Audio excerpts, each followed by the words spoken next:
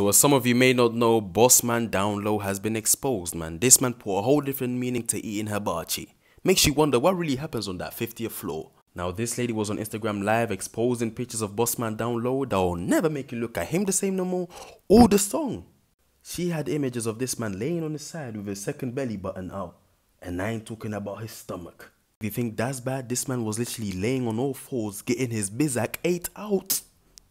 From now on, the song is Bad Bitch 50th Floor Eating her body. That's what the lyrics are now. Now see, if she did it from the front, you could have said she went down and slept and he didn't expect it and it just happened. But this was literally him on fours, bro. How do you explain that? I mean, guys, it's in his name. I don't know why we didn't put two and two together. His name is Down Low.